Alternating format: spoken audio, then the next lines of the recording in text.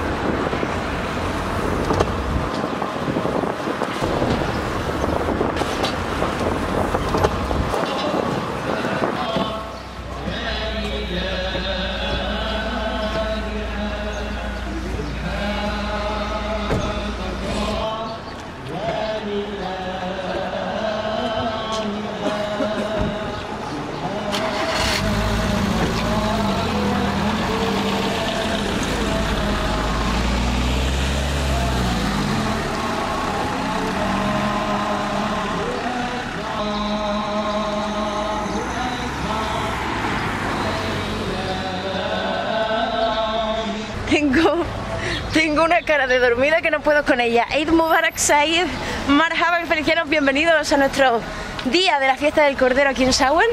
Tengo una cara de pan y de dormida que no la puedo cambiar porque son, pues, bueno, ya son las 6, pero hemos salido de casa sobre las 5. Fijaros cómo hemos tenido que subir en una especie de taxi que solo tiene una plaza y el resto nos tenemos que subir atrás, con corderos porque daros cuenta de que hoy, al ser el Eid, es el día festivo, tanto hoy como mañana, pasado, y evidentemente prácticamente no hay taxis. Llevamos desde ayer buscando una persona, un taxi, para pagarle y que nos suba desde el campo con la niña, el carro y demás hasta, hasta aquí arriba la Medina y ha sido imposible. Esta mañana, a ver, eh, de milagro íbamos a subir andando que estamos como a una hora y pico aproximadamente, lo que es del campo a, la Medina, y de milagro hemos encontrado a, a este hombre que parece ser, parece ser que hoy está trabajando. Son las seis y pico y falta poquito para que comience el rezo de por la mañana. Vamos a disfrutar de él.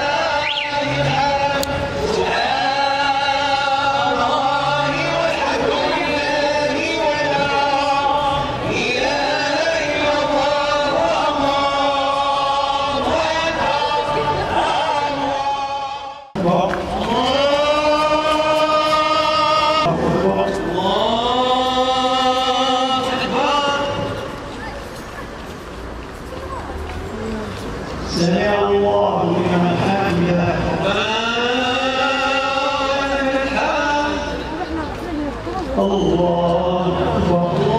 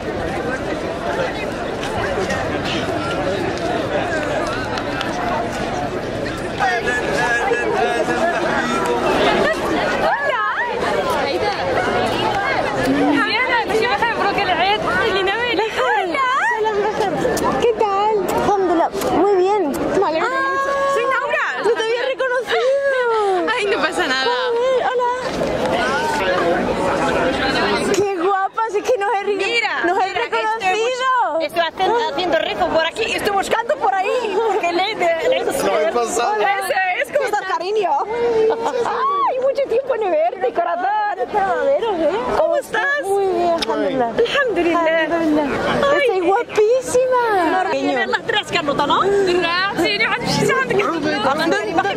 ¿no?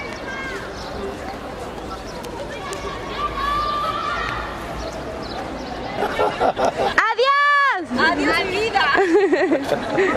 que se parecéis modelos, tío. Parecéis modelos. Te quiero mucho.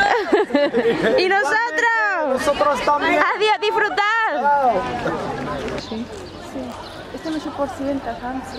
He leído más y leído de limpiar. Infelicianos, pues nos vamos a casa a desayunar. Vamos todos a desayunar. Después del rezo es lo que se hace. Todo el mundo se reúne para desayunar. Y después del sacrificio, pues ya llegará el momento de, de limpiarlo todo, guardar la carne en el congelador, repartir también con los que no tienen. Pero el primero vamos a comer. Ah, dale. Sí. Sí, por aquí. Ana, dale. Pues te digo que es súper complicado. No puedo, sí. Pero diale grande o oh, La bag. Bueno, shui. Más que otro diferente. Ah, va.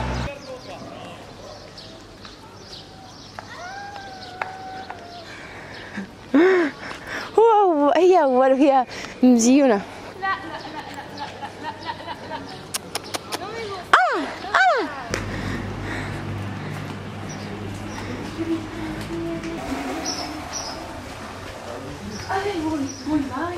Este si la sabe este. اه ضروري Pero si no, no puedo yo.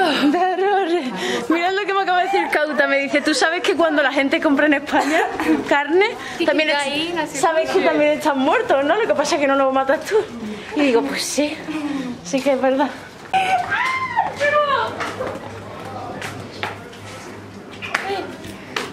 Pedazo de desayuno. Ay, han desayunado. Claro, mira, mira. Oh, me hubiera gustado desayunar todos juntos. Qué Ya de pena. vida, pero estuvimos nosotros. No puedes hacer las dos cosas a la vez, ceremonia o desayuno. Ah, mira. Comed lo que queráis en Felicianos. شنو شنو؟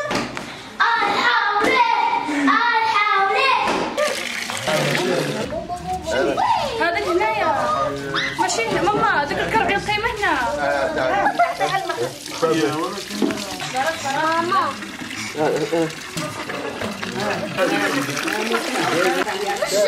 أبا أبا أبا أبا صافي صافي.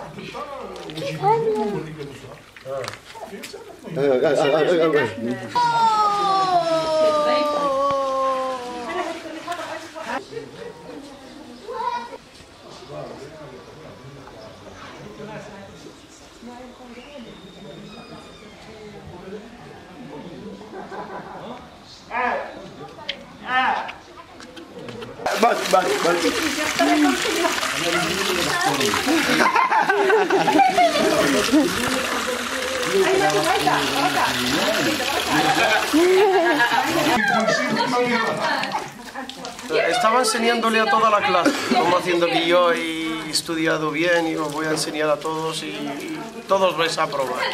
Quería ser la, la heroína.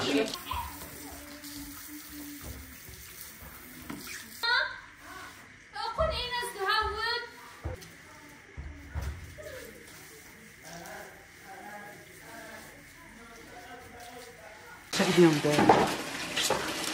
دابا شحال الكيلو أنا أحلى حاجة عندي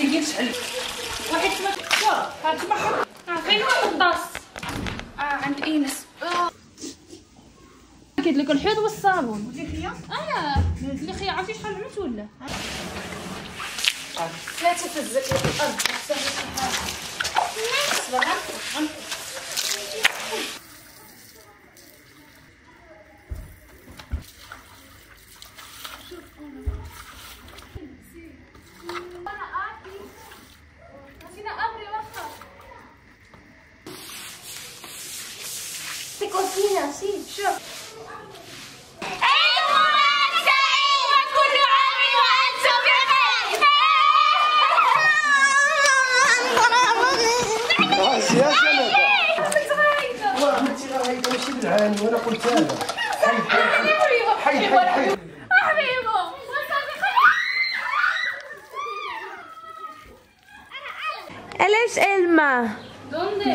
Daba paseo. Se le enveje.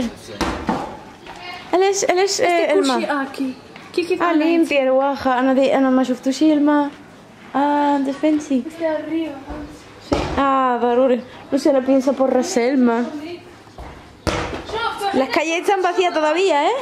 سمعتوني تعال ندخل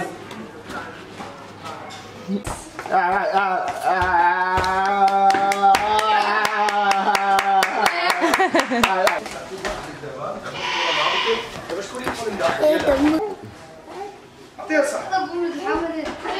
ها يلا اطلع اطلع صح صح شوف دقه دقه واحد واحد جوج ثلاثة اربعه اطلع اطلع اطلع لا ها واحد شوف لا كورة لا كورة لا كورة خليها خليها واحد ماشي جوج واحدة شو شو شو ايناس واحدة؟ اضرب أضرب ايناس شو ايناس واحدة؟ واحدة. واحدة ايناس مشى فين ايناس هي الكره والو هي الكره آه، والو هذه لا هاي. هكا الزوم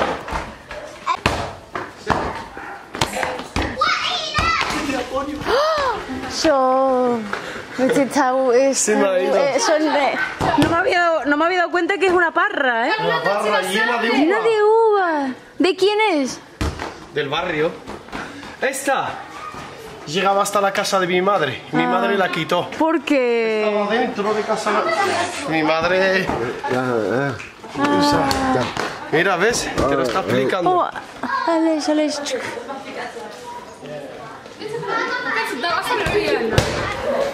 Era así, fre- fresquito entraba a casa.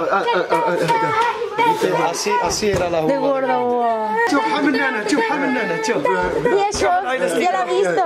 شوفها من هنا شوفها من هنا شوف viene con la leche para la Ah, qué bien. ودابا في- في- Lo- Tiene la leche malísima, le va a dar una pedazo de diarrea.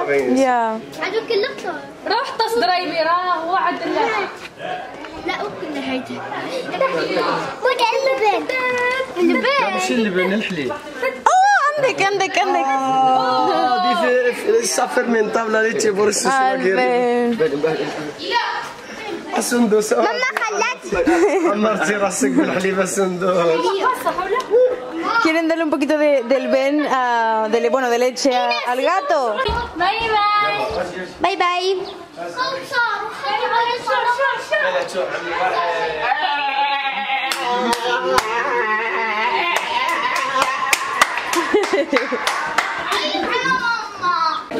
turística. ¿Ah, sí?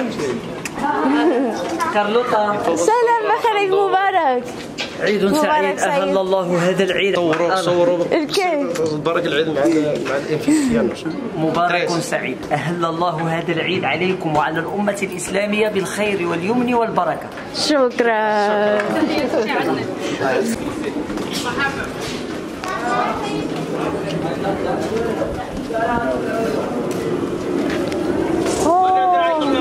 دابا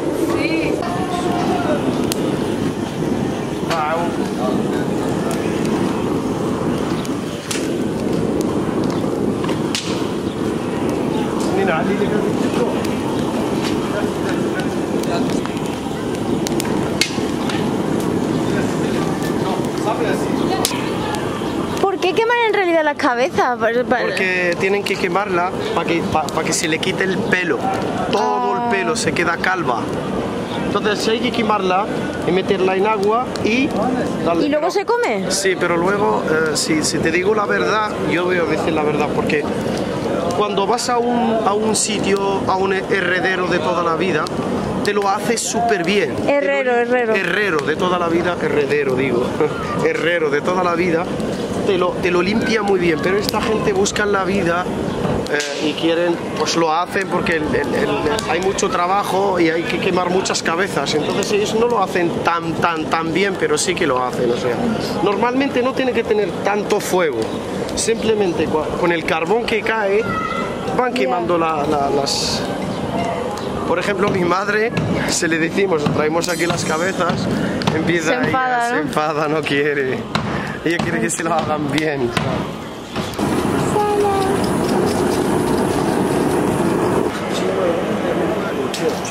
Esto es súper común, que los niños aquí tengan miedo de los perros, de los gatos, incluso de los gatos, es lo más común. A los perros como a los gatos, incluso Cautar, ¿eh? Cautar le tiene mogollón de miedo. Pasa que con África ya se está acostumbrado, pero... ¿De quién es? Es de alguien, ¿no? Eh, Kenia quiere... Kenia le encanta. Kenia no, no, se va a criar con miedo, ¿eh? Mira, mira, se tira. Ella está acostumbrada, yo le tengo, vamos, todo diga entre los gatos y los perros. Una andia.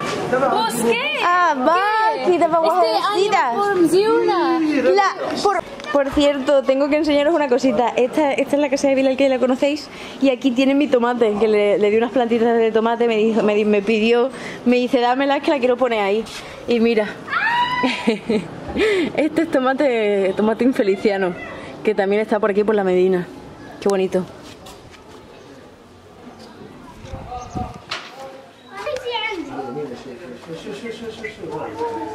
لما تكبروا بزاف دابا تصغر ها Kenia quiere con los perros. Oh, más el, el amor. Déjale. Esta es la naturaleza. Sí, pero los niños no quieren ver eso. ¿Por qué? Qué cagada. واخا يعرفوني يلا امشي يلا Esto es lo normal de la vida.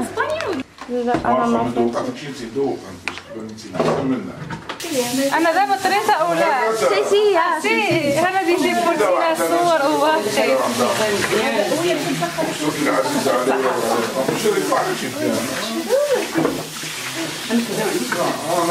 Ah, dava mesi antes in Cina sui vestito, Cina di che ho una festa.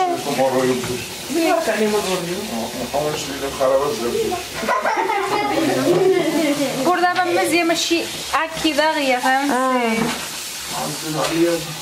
هذاك الطنجره من هو هي كل طنجره مزيون وكلشي كله مزيون ها معاها بشي حاجة كبيره وصافي باش تدخل تخلصوا داك الاسوان والصراحه دخلوا العيب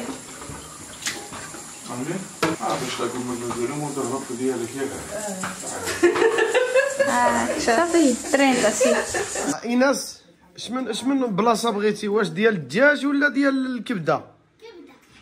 Vale, el kibda. Eh, en Felicianos ah, vamos a poner dos sitios. Esto es pollo y arroz y el otro es hígado. Porque no todo el mundo come hígado, entonces por eso hemos puesto dos sitios. Carlota, ¿cuál quieres? Pollo. Pollo, vale. ¿Monsina? Pollo. Pollo. Ah, vale, yo higadito. Ahí se va a poner el higadito. Ah, cuidadito, qué rico. Aceitunas. Dice. Mm. Nosotros el pollo y ellos van a comer el cordero, ¿no? Buen provecho.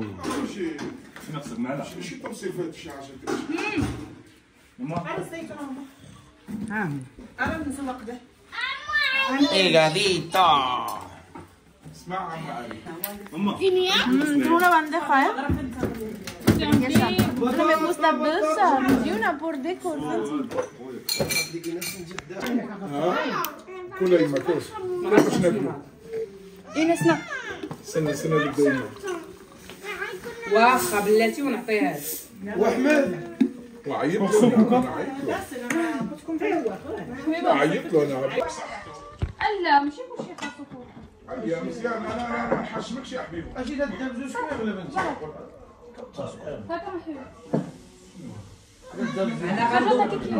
Tía, este más y mosquil. Hacemos Tiene sal- tiene otro cabello. Tiene ¿Qué quieres? Ah, hígado, hígado. كيف كيف كاكا Ah, dice, dice esto que que caca, igual caca. Sí, sí, sí. sí. Ah, no. Dios, ¿cómo puede tanto calor aquí? Felicianos Said Mubarak Said, Mirad, estoy aquí en una casa auténtica, una casa antigua, de las casas más antiguas de Chefchaouen.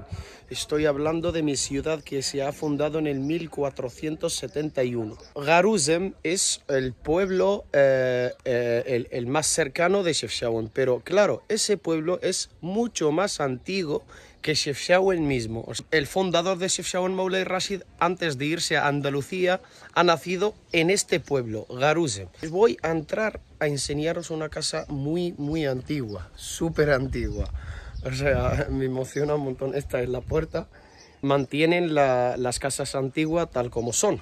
Entonces vamos a entrar y os voy a enseñar cómo es. Esta es una puerta. Claro, este chapa como nuestra casa. Y luego, esa es una entrada. Entramos.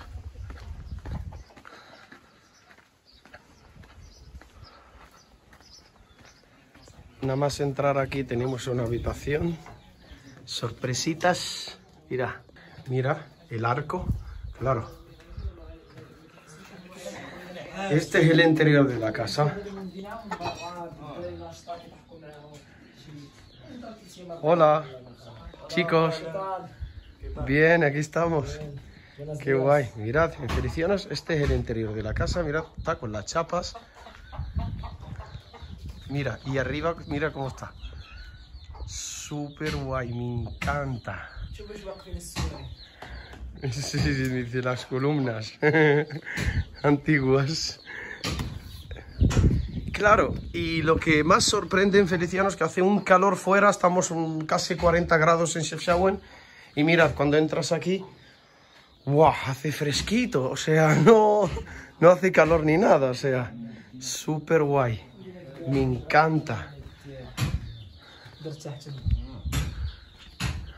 Otra habitación por aquí.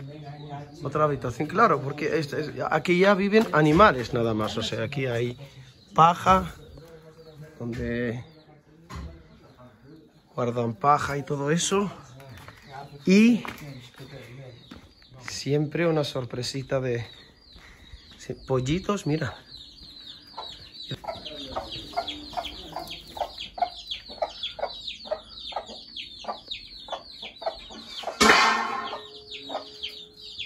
Están aquí en el fresquito.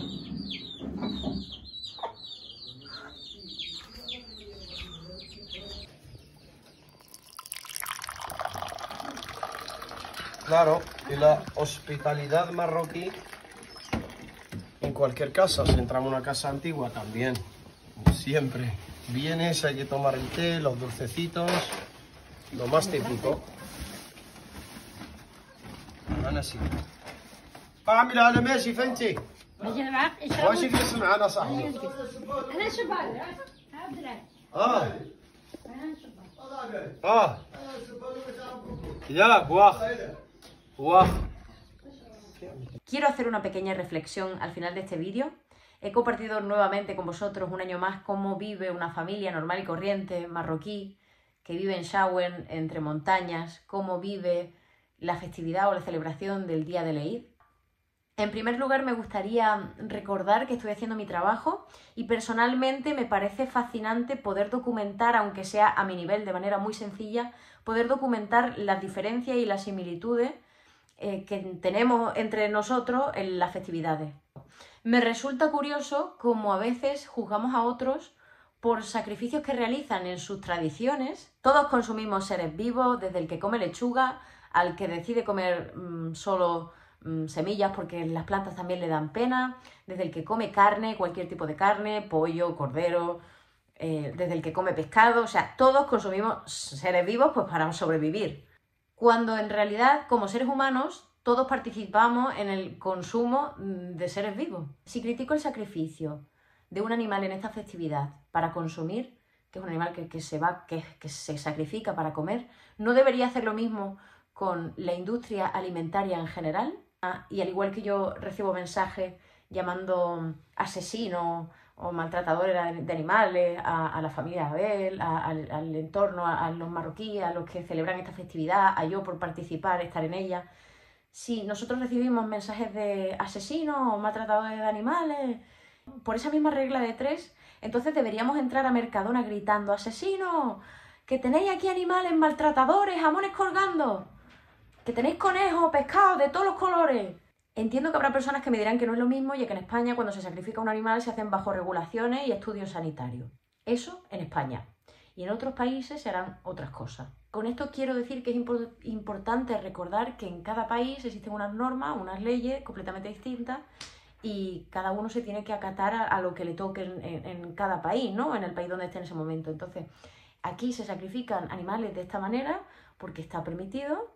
La ley marroquí establece pautas y requisitos para garantizar la seguridad alimentaria y el bienestar animal. Otra cosa es que no todo el mundo lo lleva a cabo y que mm, cada uno hace al final en su casa lo que le da la gana. O sea, esto es aquí y en Pekín. Habrá personas que sí, habrá personas que no. Por ejemplo, que yo siempre pongo el ejemplo de Omar, que es el que tengo más cerca. El padre de Omar, que tiene varias vacas. Pues alguna vez habéis podido ver, o seguro que lo habéis visto en, en cualquier otro sitio, las vacas suelen tener un pendiente amarillo que les cuelga con una numeración. Esta etiqueta es una forma de documentar al animal, de saber de dónde viene, de saber el control sanitario que ha llevado, las vacunas que se le han puesto, lo que le falta, lo que no. Una manera de garantizar tanto el bienestar eh, nuestro como el bienestar del animal. Esto, pues no lo hará todo el mundo y habrá excepciones y casos y muchos casos donde la gente haga lo que le dé la gana y nadie se dé cuenta. Yo qué sé, mil cosas. Por ejemplo, mi, mi cabra Sakura. Pues mi cabra Sakura no tiene ninguna etiqueta pues porque a pesar de que cuando el veterinario necesita ponerle alguna vacuna, vas aquí, como yo no la voy a vender ni me la voy a comer, pues no lo necesita. No necesita ninguna documentación porque es de aquí de la casa. Por ejemplo, ¿no? El día que yo quiera tener, por ejemplo, una vaca que luego pueda vender, pues entonces sí que necesitaría esa documentación. Con este vídeo no pretendo absolutamente nada. No me pertenece la misión de cambiar mm, a nadie de opinión. Cada uno allá con su propia lucha pero sí que quería fomentar la comprensión de alguna manera, de alguna manera dando toda esta explicación, ¿no? Quiero comprenderlo, tengo que comprenderlo y debo respetarlo y comprenderlo porque yo todos los días me meto un trozo de carne a la boca que no sé en qué circunstancias ha vivido ni en qué circunstancias ha sido sacrificado. Y posiblemente haya tenido una, vida de caca. Pero como no lo veo, no pasa nada. Ni nadie se entera ni me entero yo. Pero claro, ahora que la persona que decide sacrificar en casa dentro, dentro de la ley es un asesino. O sea, los que sacrifican son asesinos, ¿no? Tanto los que sacrifican en España como los que sacrifican en Marruecos. Cada uno está dentro de sus leyes, unos en su país y otros en otro. Y los que no sacrificamos pero nos comemos los sacrificados, ¿qué somos?